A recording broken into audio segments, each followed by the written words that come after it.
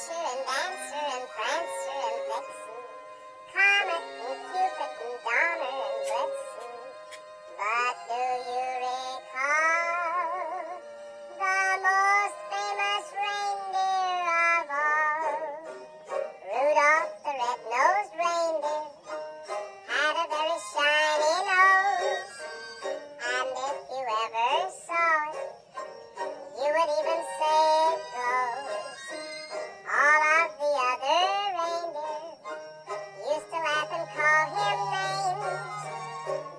never let go.